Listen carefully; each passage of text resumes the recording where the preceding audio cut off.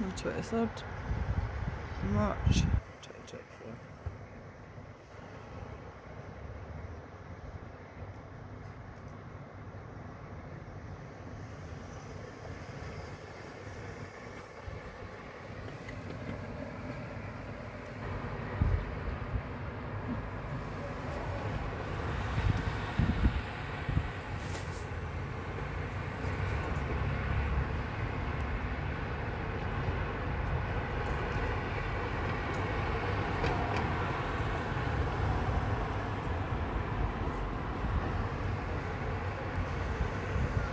just in the freezer.